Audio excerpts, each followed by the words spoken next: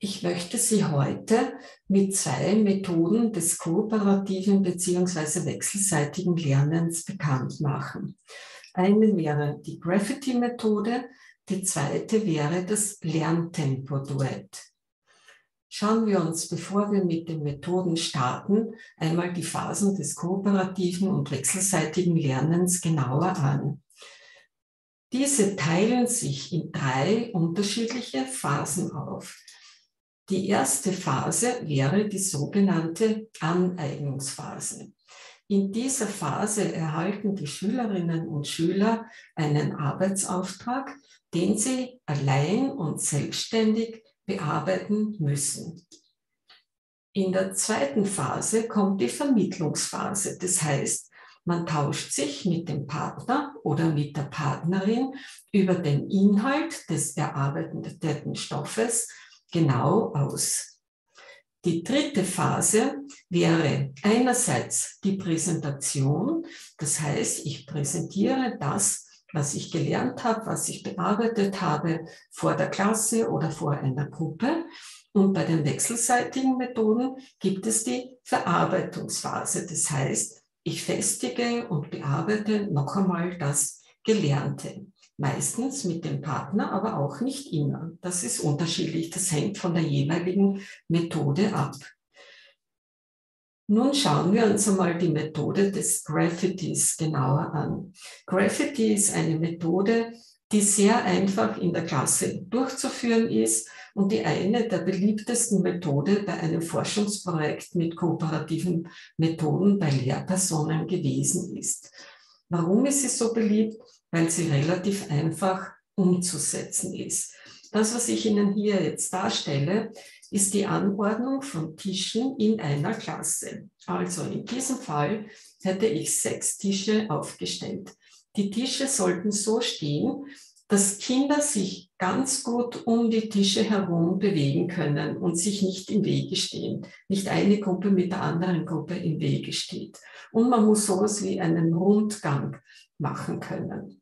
Als weiteres wird auf die jeweiligen Tische ein Blatt aufgelegt. Das kann ein A4-Blatt sein, ein Zeichenblatt sein, das kann ein Plakat sein. Und auf diesem Plakat steht ein Arbeitsauftrag oben.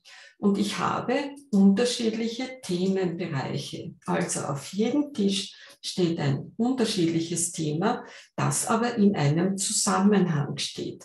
Zusammenhang wäre zum Beispiel, ich habe in Deutsch die Wortarten mit den Kindern durchgenommen und auf jedem Tisch ist jetzt eine andere Wortart zur Verfügung. Also Thema 1 wäre das Nomen, Thema 2 wäre das Verb, Thema 3 das Adjektiv und so weiter. Das wären einmal die Hauptthemen. Dann schreibe ich zu dem Thema einen jeweiligen Arbeitsauftrag oder ich sage in den Kindern. Es könnte sein, bitte schreibt äh, zu eurem vorgegebenen Thema einen passenden Satz und unterstreicht das jewe die jeweilige Wortart. Ähm, das ist das Erste. Das Zweite ist, ich muss einmal Kinder zuordnen. Ja, also ich schaue, dass ich auf jedem Tisch eine gleiche Anzahl von Kindern habe. Eine perfekte Zahl von Kindern wären zum Beispiel wie hier vorgegeben vier Kinder. Es können aber auch fünf Kinder sein, es können aber auch drei Kinder sein. Ab sechs bitte wäre es zu viel. Da muss man aufpassen, weil da kann der Arbeitsprozess nicht mehr gut funktionieren. Prinzipiell beim kooperativen Lernen sagt man Gruppengröße maximal vier Kinder. Aber manches Mal geht es sich natürlich nicht genau aus. Das heißt, die Kinder werden den Tischen zugeordnet, aber sie ordnen sich nicht selbstständig zu, sondern ich als Lehrperson teile die Gruppen ein und zwar aus einem ganz einem besonderen Grund. Ich versuche die Gruppen so gut wie möglich heterogen aufzuteilen. Es ist ganz wichtig, dass wir auch heterogene Ergebnisse haben. Und die Kinder lernen ja voneinander. Das nächste wäre, wir müssen uns im Raum bewegen. Also, ich stehe jetzt bei einem Tisch, ich stehe vor einem Plakat. Auf dem Plakat ist ein Arbeitsauftrag. Jedes Kind hat einen Stift in der Hand und erfüllt diesen Arbeitsauftrag. Das dauert nicht sehr lange, weil es ist ja nicht sehr viel zu tun. Ja? Äh, die Lehrperson beobachtet, Und wenn sie merkt, die Kinder haben den Auftrag erfüllt, gibt sie ein Signal zum Weitergehen. Weitergehen heißt zum Beispiel, die Gruppe von Thema 1 bewegt sich zum Thema 2 und erfüllt dort den Arbeitsauftrag. Dann geht es weiter zum Thema 3, Thema 4, Thema 5, Thema 6, bis man wieder beim eigenen Plakat angekommen ist. Das ist jetzt ganz wichtig. Die Gruppe hat jetzt den Auftrag, die ganzen Aussagen, die auf diesem Plakat stehen, durchzulesen, zu sichten, zu clustern, zu ordnen, auszubessern und dann laut Arbeitsauftrag den Arbeitsauftrag erfüllen. Das könnte zum Beispiel sein, in diesem Fall mit den Wortarten, sucht euch die vier besten Sätze heraus, die eurer Meinung nach am interessantesten und am spannendsten und am passendsten geschrieben sind. Und diese werden dann vor der Klasse präsentiert. Es präsentieren aber nicht vier Kinder, sondern es präsentiert ein Kind. Ja? Und das ist jetzt wichtig. Sagen Sie bitte nicht vorher, welches Kind präsentiert oder lassen Sie die Kinder nicht freiwillig äh, wählen, wer präsentiert. Das würde dazu führen, dass der Rest der Gruppe den Arbeitsauftrag nicht so genau nimmt. Und prinzipiell sollten die Kinder so vorbereitet sein, dass jedes Kind fähig ist, den Arbeitsauftrag zu präsentieren. Dann funktioniert die Graffiti-Methode sehr, sehr gut. Eine simple Methode, eine einfache Methode, ganz leicht und schnell durchzuführen. Ich kann auch statt Arbeitsaufträgen Bilder auflegen. Ich könnte zum Beispiel eine Personenbeschreibung machen, indem ich ein Bild von irgendeiner Person auflege und die Kinder Merkmale dieser Person beschreiben müssen in Sätzen oder wie auch immer. Also ich habe da sehr viele Möglichkeiten. Eine gute Methode, die man gut anwenden kann. Diese Methode lässt sich in digitaler Form nicht umsetzen. Da brauche ich wirklich den Klassenraum. Dann schauen wir uns eine weitere Methode an. Das wäre das sogenannte Lerntempo-Duett. Was bedeutet Lerntempo-Duett? Also ich habe das Wort Lernen drin, ich habe das Wort Tempo drin und ich habe das Wort Duett drinnen. Ich lerne nach einem gewissen Tempo im Duett. So könnte man das relativ gut äh, beschreiben. Wie schaut das jetzt wieder aus? Also ich habe wieder mehrere Schritte wie das Ganze abläuft. Schauen wir uns einmal den ersten Schritt an. Ähm, wir haben hier die Aneignungsphase. Das ist eine Wellenmethode. Ähm, es gibt Experten und Expertinnen zum Text A und es gibt Experten und Expertinnen zum Text B. Das ist einmal ganz wichtig. Das heißt, die Lehrperson bereitet zwei Texte vor. Diese Texte müssen aber differenziert aufbereitet werden. Das heißt, dem Niveau der Klasse, der Heterogenität der Klasse entsprechend angepasst. Die halbe Klasse bekommt den Text A, die zweite halbe Klasse bekommt den Text B. Was ist vorteilhaft? Das brauchen wir beim Lerntempo-Duett, dass wir die Texte auf unterschiedlich fertigen Blättern schreiben. Also beim Ausdrucken vielleicht eine Gruppe mit einem farbigen Blatt versehen oder sonst irgendein Merkmal drauf, einen Klebepunkt oder ähnliches. Das wäre ganz, ganz wichtig beim, beim Lerntempo-Duett. Was mache ich weiter? Also die zweite Phase wäre dann die Vermittlungsphase, wie das eben beim kooperativen Lernen üblich ist. Das heißt, einer mit Text A, einer mit Text B kommt zusammen. Aber wie kommen sie zusammen? Das heißt, wenn ein Schüler oder eine Schülerin mit dem Text A fertig ist, hebt es das Textblatt in die Höhe. Wenn ein Kind mit dem Text B fertig ist, hebt es das Textblatt in die Höhe. Und wenn zwei unterschiedliche Farben hochgehalten sind, dann gehen diese Schüler und Schülerinnen als Paar zusammen. Und warum Texte differenzieren? Weil dadurch auch die Zusammensetzung heterogen sein kann.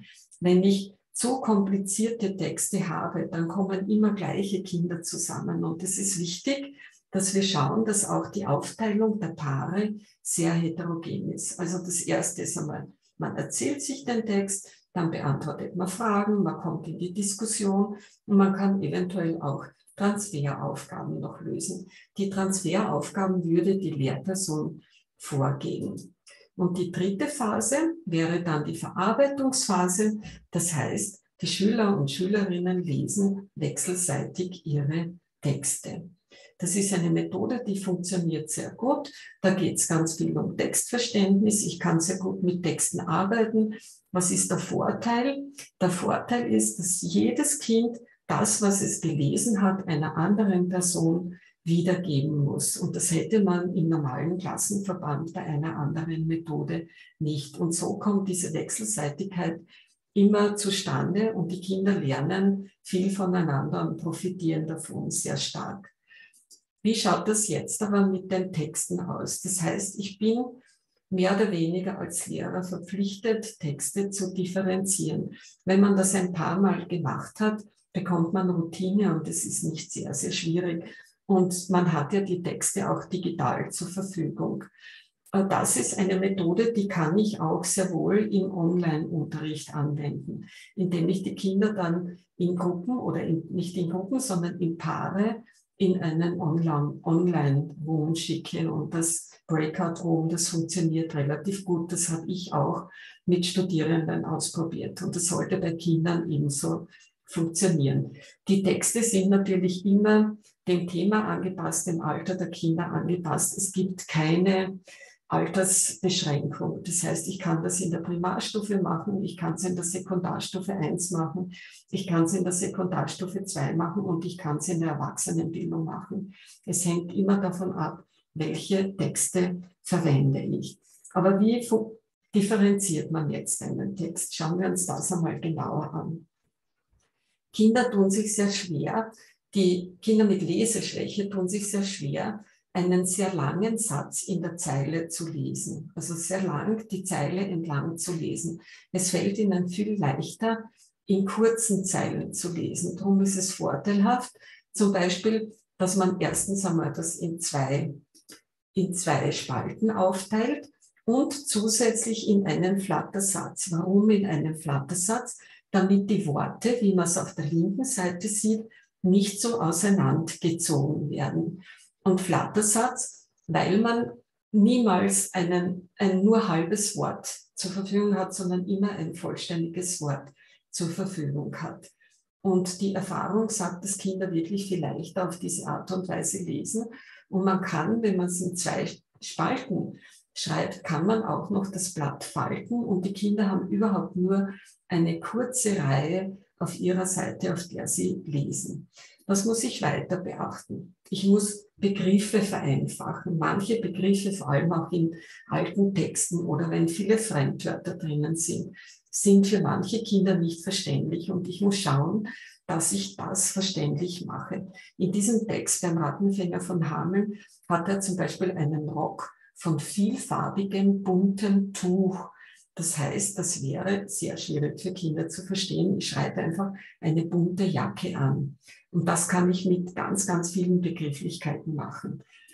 Was kann ich weitermachen oder was sollte ich machen? Ich sollte auf alle Fälle die Schriftgröße vergrößern. Also Kinder, die Leseschwächen haben, sollten auch ein bisschen eine größere Schrift zur Verfügung haben.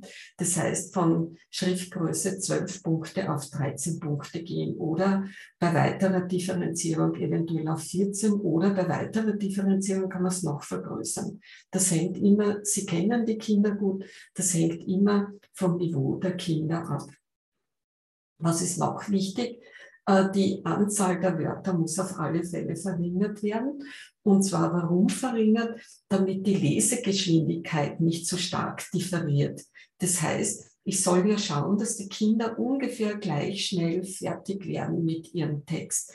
Und wenn sie aber gleich viele Wörter haben, wird das niemals gelingen. Sie haben sicher schon selbst die Erfahrung mit Kindern gemacht.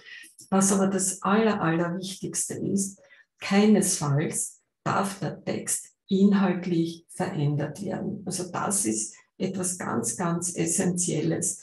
Es muss der gleiche Inhalt vorhanden sein wie bei dem Originaltext. Ich kann nur differenzieren, indem ich Wörter rausnehme, ich, indem ich Sätze rausnehme, die Nehmer, die keine Bedeutung haben im Text, die einfach einen Text verschönern.